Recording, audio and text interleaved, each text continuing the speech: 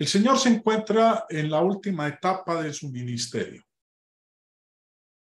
Tres meses es lo que le queda de vida aquí en la tierra antes de ser eh, eh, crucificado y retornar al reino de los cielos.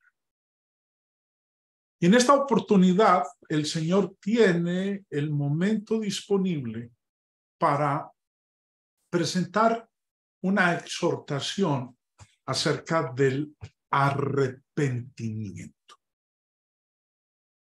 Y dentro del contexto de lo que vamos a estar eh, leyendo en un momento, es que el Señor les va a decir a su audiencia que no se crean justos porque no estén sufriendo. Porque a veces tenemos la tendencia a decir, hombre, ¿cómo me está yendo de bien? Todo está marchando a la perfección. Eh, eh, no tengo ningún tipo de malestar ni de sufrimiento. Eso quiere decir que yo estoy andando muy bien como hijo de Dios. El Señor empieza diciendo, o, no, empiezan más bien diciéndole al Señor. Dice en el versículo 1, en este mismo tiempo estaban allí algunos que le contaban acerca de los Galileos cuya sangre Pilato había mezclado con los sacrificios de ellos.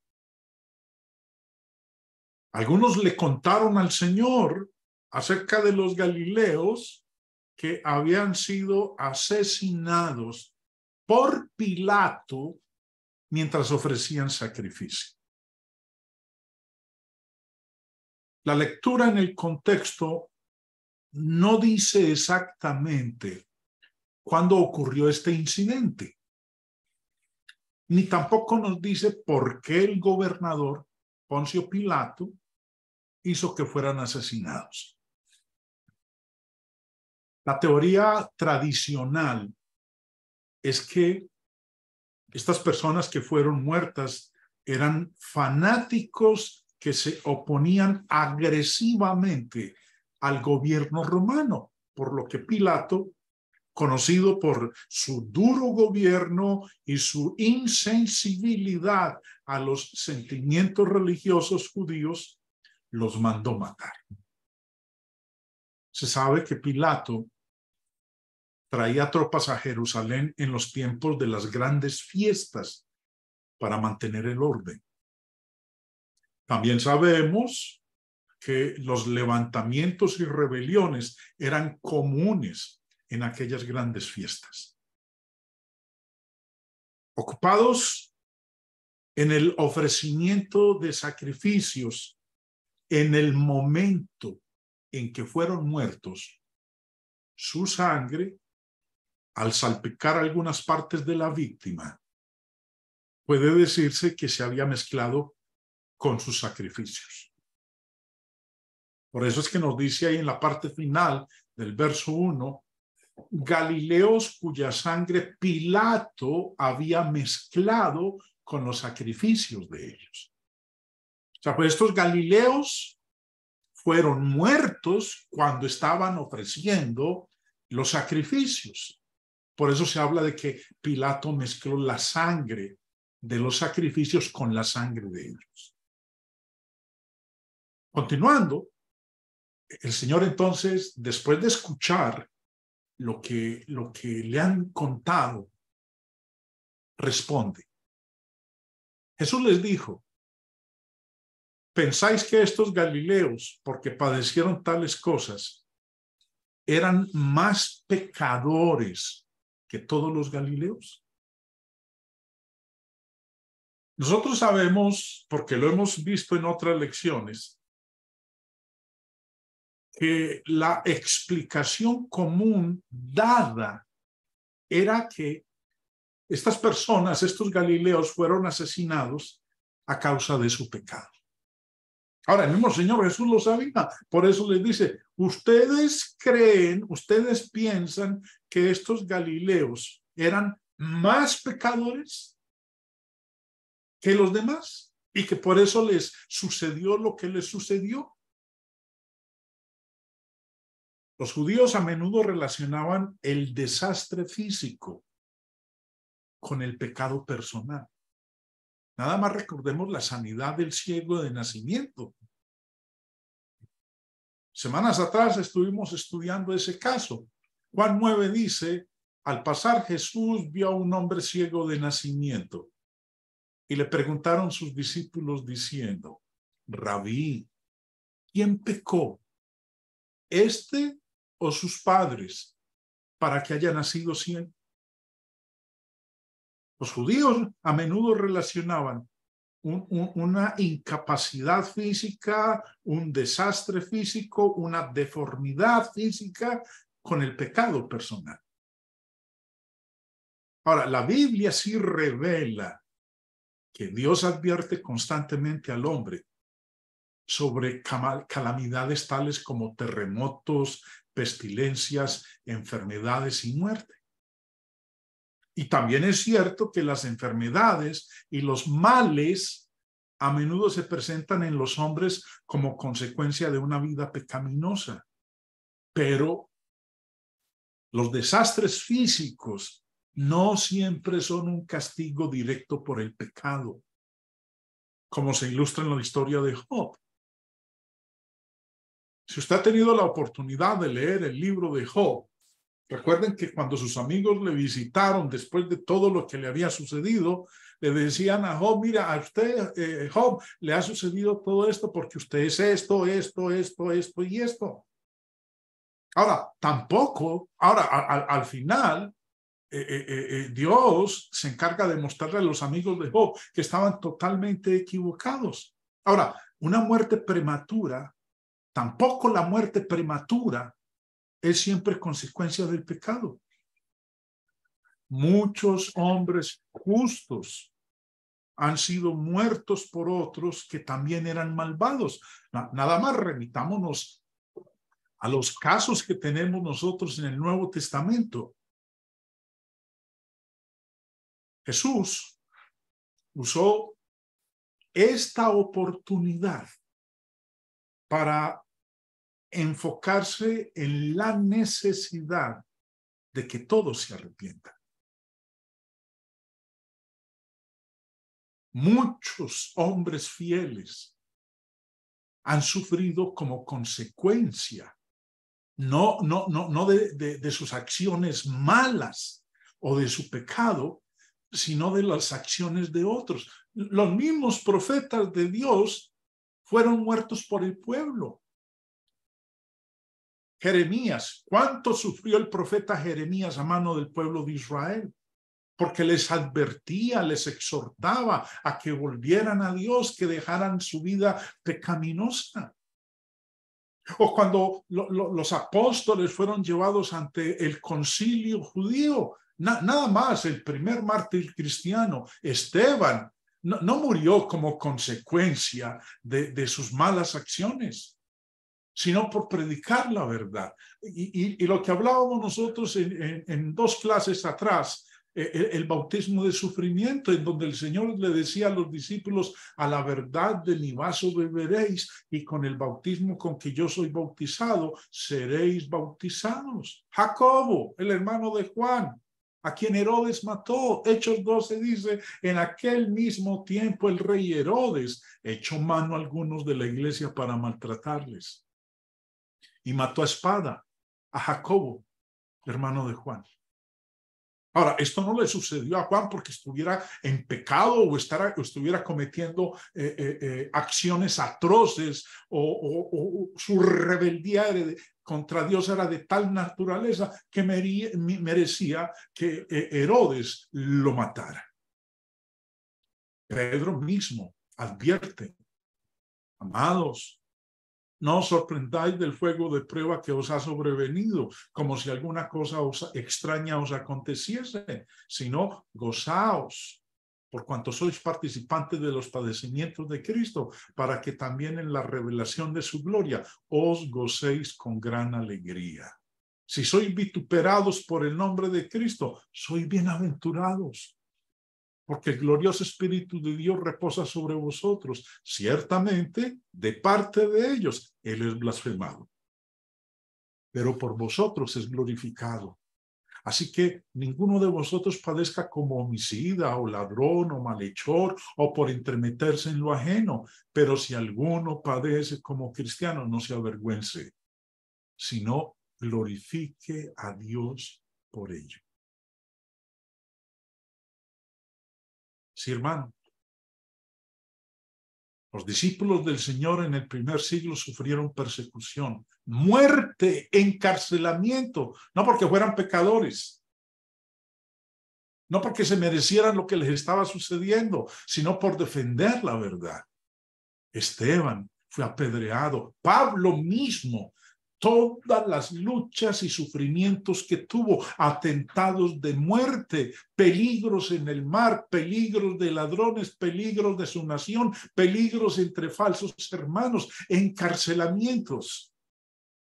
Por eso el Señor les dice, vea señores, ustedes creen que esos galileos a quienes Pilato mató y mezcló su sangre con la, sangre de los sacrificios. Ustedes que creen que eran peores, eso les sucedió porque eran peores que los otros Galileos. Déjenme decirles, no, están equivocados.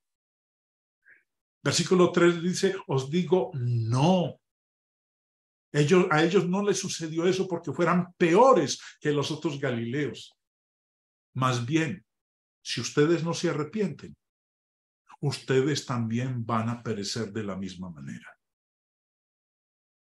Jesús negó enfáticamente la afirmación de estas personas de que los galileos fueron asesinados porque eran los peores pecadores. Todos hemos pecado. Pablo dice en Romanos 3:23 que todos hemos pecado y el punto que el Señor Jesús enseñó aquí es que si los hombres no se arrepienten, perecerán. Arrepentirse o perecer. El aspecto más aleccionador es que este perecer espiritual no será eh, eh, eh, temporal o solamente físico. Este perecer si no nos arrepentimos, se va a extender hasta la eternidad. diagrama que ustedes conocen muy bien porque lo hemos citado en muchas ocasiones, muestra la realidad del hombre, del ser humano. ¿Qué pasa cuando muere en pecado? ¿Qué pasa cuando muere en Cristo? Se sella un destino que va a ser eterno. Vida eterna con Dios en el cielo o la muerte eterna con el diablo y sus ángeles en el lago que arde con fuego y azufre. Arrepentirse o perecer. Eso fue la consigna de nuestro Señor.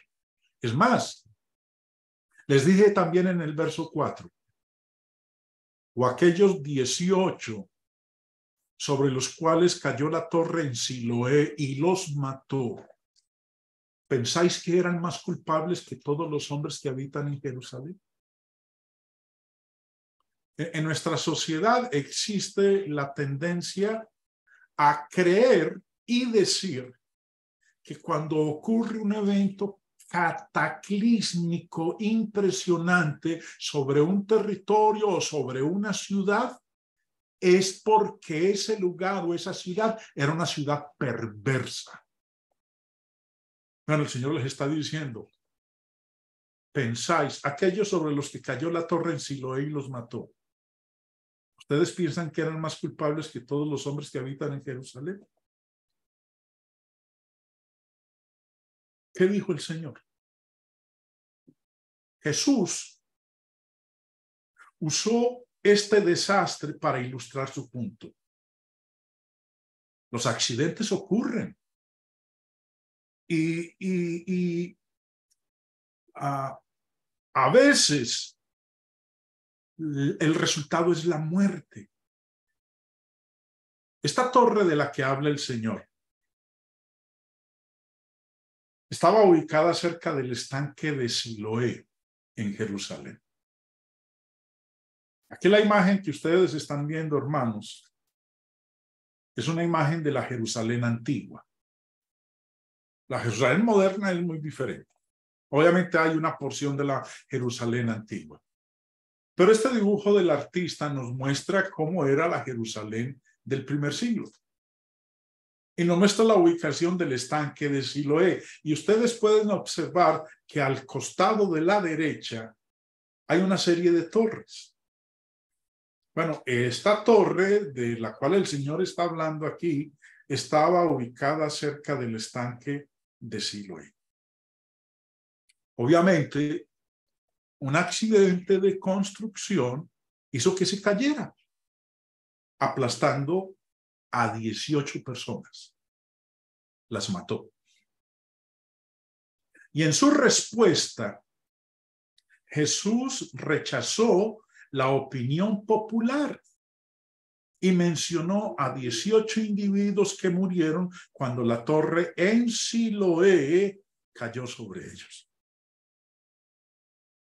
El punto del Señor era que en lugar de especular sobre la muerte de esos individuos como resultado directo de la ira divina, necesitaban recordar que todos los hombres son pecadores y que todos deben arrepentirse o perecer. Señor les ha dicho, aquellos 18 sobre los cuales cayó la torre en Siloé y los mató, ¿pensáis que eran más culpables que todos los hombres que habitan en Jerusalén? ¿Qué le respondió el Señor en el verso 5? No. No eran más culpables que todos los hombres que habitan en Jerusalén. Más bien les digo, si no se arrepienten ustedes, ustedes también se van a morir. Todos pereceréis igualmente. Una vez más, la advertencia es clara. El Señor desea que los hombres amen el bien y aborrezcan el mal. Nos dice Pedro en su primera carta, porque el que quiere amar la vida y ver días buenos, refrene su lengua de mal y sus labios no hablen engaño. Apártese del mal y haga el bien, busque la paz y síguela. La buena fortuna o la buena suerte, como uno escucha hablar a muchas personas hoy en día, la buena fortuna o el desastre de una persona no indican su condición espiritual. ¿Qué tenemos que hacer nosotros más bien? Prepararnos. Prepararnos para la muerte y el juicio cuando llegue. Hebreos 9:27 dice, y de la manera que está establecido para los hombres que mueran una sola vez y después de esto, el juicio a menos que uno se arrepienta, también perecerá. Pablo dijo en segunda de Corintios 7 sobre el arrepentimiento. Porque la tristeza que es según Dios produce arrepentimiento para salvación. De que no hay que arrepentirse. De la tristeza que es según Dios que produce arrepentimiento, no tenemos nosotros por qué arrepentirnos de eso. Pero la tristeza del mundo produce muerte. ¿Qué diferencia? Aquel que ahora que, estamos en el penúltimo día de la semana, ya estamos a viernes, Muchos están haciendo ya su programa para esta noche y también para mañana y si es posible hasta para el domingo se van a ir a sus discotecas, van a ir a sus fiestas, van a estar consumiendo licor, se van a emborrachar y el domingo, el domingo por la mañana cuando se despierten van a tener la jaqueca más impresionante, van a estar totalmente enguayabados con dolor de cabeza, algunos habrán vomitado y ¿qué van a decir? No vuelvo a tomar, no vuelvo a beber. Se entristecen. Pero ¿qué ocurre a la semana siguiente ya se olvidaron y vuelven otra vez a las mismas.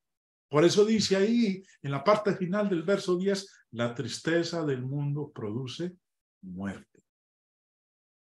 Pero la tristeza que es, según Dios, produce arrepentimiento para salvación.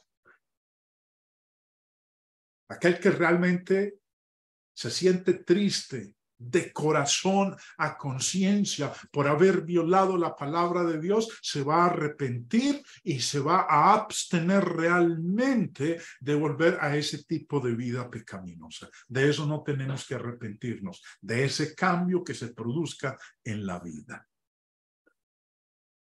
Después de esto, el Señor procede a enseñarles una parábola. La parábola de la higuera.